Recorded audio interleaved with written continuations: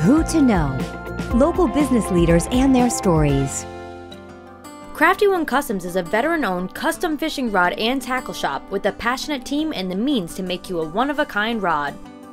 When you go out fishing, it's something whether it be a recreational time, of course you have people that do it for a living, um, but even them, the water's magical.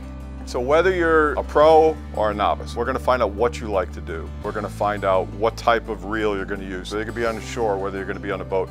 And then basically we're going to take and reverse engineer the rod to you. That's where we're unique. We like to call them a performance piece of angling art.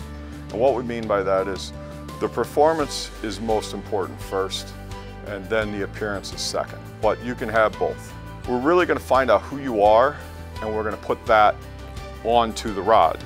We are a full tackle shop, so we have a lot of what you want, and we're very proud of that we have a lot of unique stuff that other people won't have. We've sold to every state in the country except for South Dakota in the last eight years. We've also sold all around the world, and we're very proud of the fact that that's been done through word of mouth. People don't like to give a gift card, but if you give a gift card from us to them, they're going to come in and we're actually going to help them build their rod. So you're giving the entire experience to them. We're going to give you something that is yours. It's going to mean the world to you. Those memories are going to happen with that, and it's going to go down to someone else. For more information on Crafty One Customs or to be featured yourself, visit WPRI.com slash who to know.